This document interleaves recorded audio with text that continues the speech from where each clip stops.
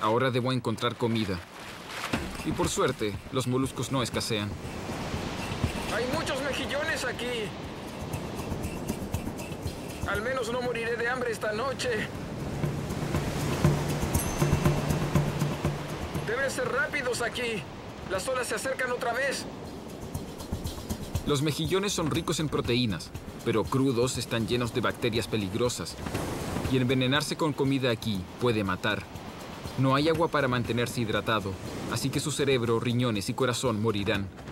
Pero aún no puedo cocinarlos, solo queda cerca de una hora de luz, así que debo acampar para la noche. La luz se va muy rápido aquí. Y también estoy húmedo. Va a hacer mucho frío.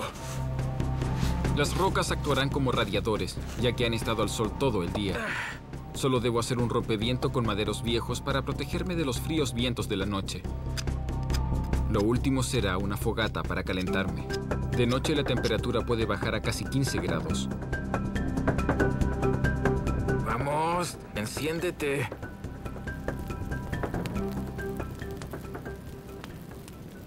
Eso es.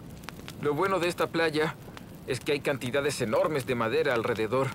Pero fue una verdadera batalla encenderlo. Pensé que sería más fácil porque todo está muy seco, pero en verdad todo está impregnado con agua, agua salada y humedad, y se hizo más difícil.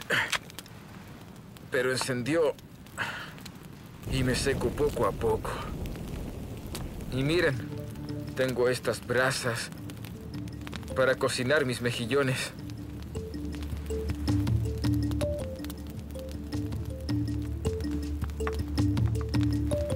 Bien, veamos cómo está esto.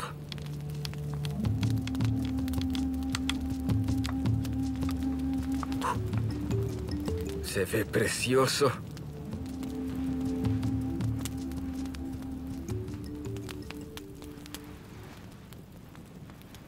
Me ayudará a pasar la noche y a prepararme para los desafíos que vienen. Cuando salga el sol iré tierra adentro, hacia el desierto. Y si soy honesto, estoy un poco nervioso por lo que me espera allá. La verdadera batalla será por el agua.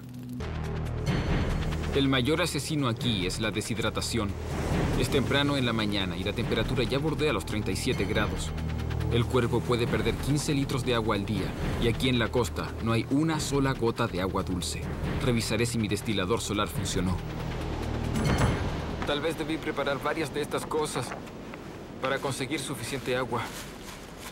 Pero también comienza a funcionar cuando hace más calor en el día, en donde la evaporación se realiza mejor. Veamos qué hay aquí. De hecho, ven que no está lleno, pero es mejor de lo que imaginé. Hay casi dos centímetros de agua. Veré a qué sabe.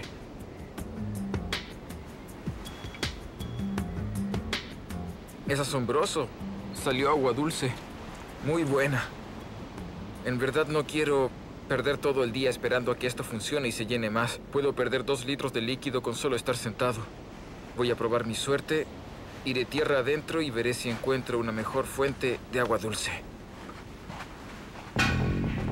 He visto algo que podría ayudarme. Vean las huellas que hay por aquí. Tal vez sean huellas de chacal.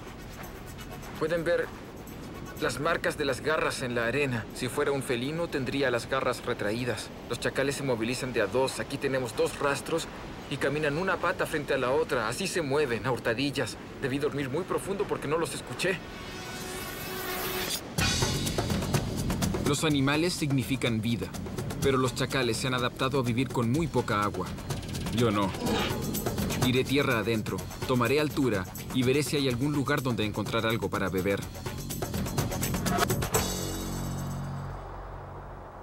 Pueden ver allá en el horizonte la montaña Brandberg. Allá es a donde iré. Pero vean, también se ve algo que corre a lo largo. Es una franja verde. ¿La ven? Probablemente haya un río allá. Y un río significa agua. Así que esa es la ruta que seguiré. Pero llegar hasta la montaña Brandberg significa cruzar casi 100 kilómetros del desierto más traicionero del mundo. Si no encuentran agua, no hay forma de sobrevivir, así que usan la naturaleza para ayudarse.